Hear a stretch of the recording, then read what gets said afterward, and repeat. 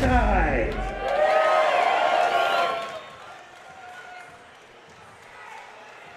Whenever they faced off in uh, Broward, he looked him in his eyes and he said, I'm going to knock you out. That's what Shane said to Kevin. Yeah, I don't see, I don't know. I don't want to put the Santa stamp on it, but I don't know if this is going to go to the judges.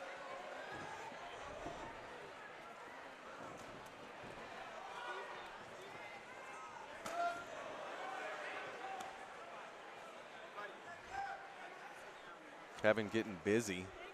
Yeah, right off the bat, utilizing those kicks in his range. Him being the the slightly taller and significant longer range fighter there, he's doing a good job of utilizing that range there, opening up with some kicks.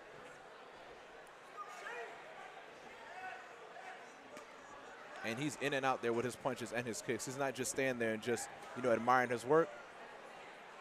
Interesting to seek out. Yeah, the I was. I, I, that was a little odd to me because he was doing so well, maintaining the range with the kicks that he sh- shot in on the takedown. That, sometimes you know fighters can get a little nervous Big takedown. Yeah. and they want to get and they want to get close. You know, close, after a yeah. while, they want to get close. Sometimes they get, like you mentioned, get nervous and be like, oh man, this is going a little bit too good. Wait, let me just Yeah, yeah, yeah. Like it's not so. I didn't. I wanted it to go this good, but it's Yeah. really going this good. So let me let me slow it down a little bit.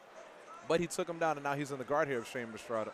Now let's see what Kevin Morales is going to do after this takedown. Is he going to utilize enough energy to be able to keep him down? And also, too, does he want to fish for ground and pound submissions? But it looks like Shane Mistretta is trying to work his way up. But Kevin Morales stops him with that guillotine there as he sinks it in. Let's see how tight it is. That's This could be dangerous. with long arms. And that was that was a very well executed setup too. Shane rolling through. Yeah, it's almost That's like tight. yeah, like Kevin sort of baited him in to stand up so I can get your neck. Yeah, very similar to Jon Jones and Ciryl Gane. Push him up against the fence when they try to stand up, go He right for the out. neck. Yeah. But he rolls out of it.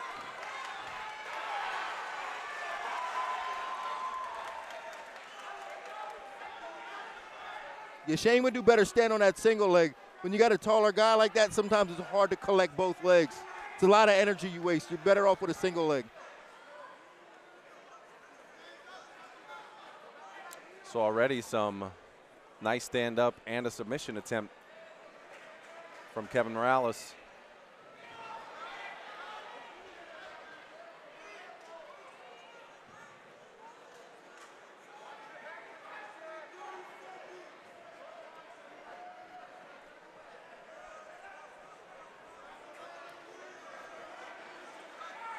Then less than 30 seconds here, Kevin Morales turns the table on, and now he initiates the takedown here as he has Shane Mistretta's back up against the fence. He's able to pull him up. And that's what it's all about, that first 10 seconds and the last 10 seconds. It's been a great first round here for Kevin Morales. Yeah. Decisive reach advantage for Kevin Morales. Yeah, he did a good job in the first round staying behind that jab. Unlike we've seen in some of these, you know, younger, earlier fights here, these guys, you know, punch, punch, punch. Oh, There And he that was and that was exactly what he needed to do. he must have heard you. Shane needed to get after, and that's what he's doing here.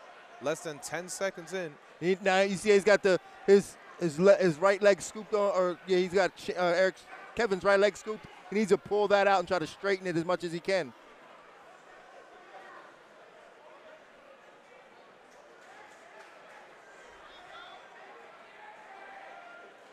Still driving.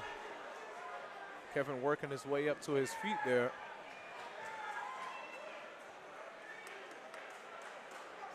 There he's got, he's sinking that arm in again. Yeah, Shane's head's just in a bad spot. You know, because he's going for that double leg. When you go for a double leg up against the fence, you leave your head open for these things. You want to stay on that single leg.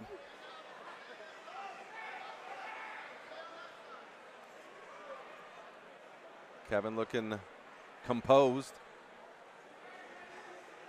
Especially a guy like Kevin Morales who has over 10 fights. There's no really position that Shane Mistretta can put him in that he hasn't seen before.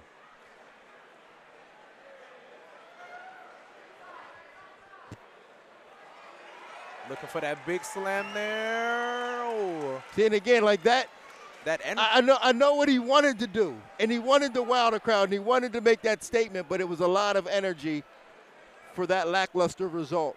Yeah. He got slammed in the first, so he, he wanted that. He wanted to get it back, right? Yeah. He wanted to get it back.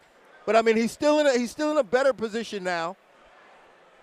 But he's going to have to be able to do something with, to, with it because when you're dragging a guy into deep waters, you don't want him to be comfortable. And right now, Kevin Morales looks pretty comfortable. Yeah, even though Shane Mistretta is, you know, clearly in control here, there's no damage. There's no, like you said, Kevin Morales doesn't feel like there's a threat there. There he's got the feet laced just for a moment.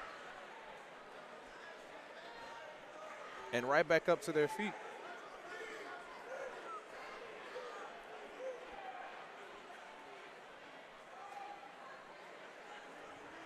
And now Kevin here is searching for a double leg takedown of his own, And gets it. Going for a guillotine here, but I'm not.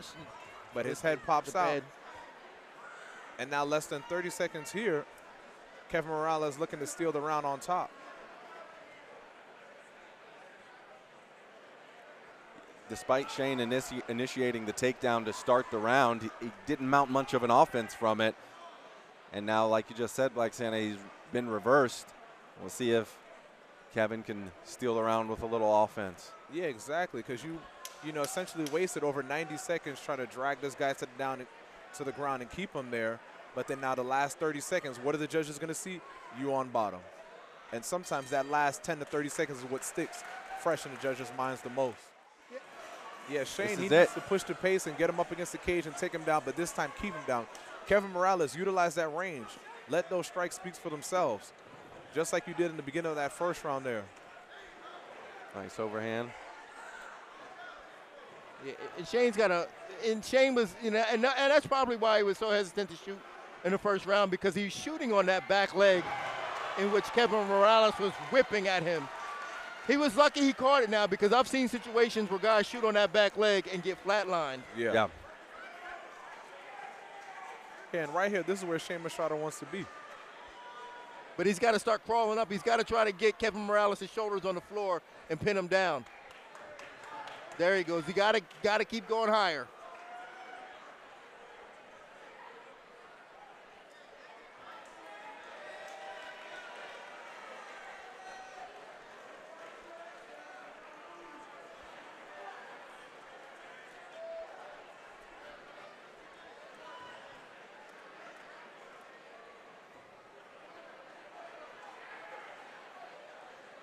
Yeah, it looks like Shane Mistretta here trying to inch Kevin Morales up against the cage there. Pin him up against the cage there so he can land those ground and pound strikes there to the face. But Kevin Morales also, he can utilize the cage to get his back up against there and, and wall walk up. Because these punches to the body here, these baby taps aren't really going to do much of anything. Yeah, Shane's got to get busy. I mean, even if I gave him the second round, but the judges may not have, I think he needs to still have a big round here to prove that he is the better fighter. There's control and there's offense, and, and this is just control. It's control, and he needs yeah. to get some offense out of it. And if Kevin Morales wants to get up, he has to not just push on the shoulders there, Shane Mistretta. He has to push on the side of his face, push on that air. Where the head and the neck goes, the body will follow. If you just push on the shoulder, this guy's going nowhere. And less than a minute left, I need a little bit more proactiveness out of Kevin Morales, a little bit more urgency to get up from underneath the bottom of Shane Mistretta. I think because Shane Mistretta is not landing any damage, Kevin Morales doesn't feel threatened here, so there's no urgency to get up. Yeah, But that, on a that happens a lot, scorecard, right? You don't realize that. You don't realize it. Like, hey, I'm Yeah, losing here. Yeah.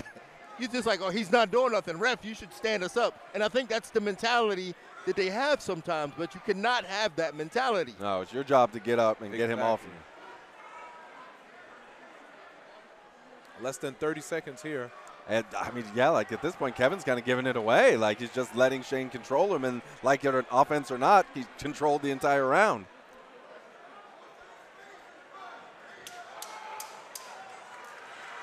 And the last 10 seconds, they're a little bit So a little reverse. too late.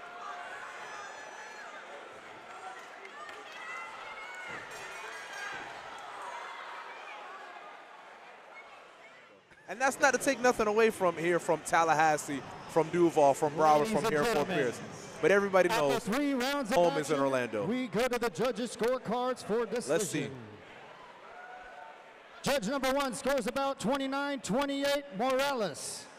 Judge number two, 29-28 Mistretta.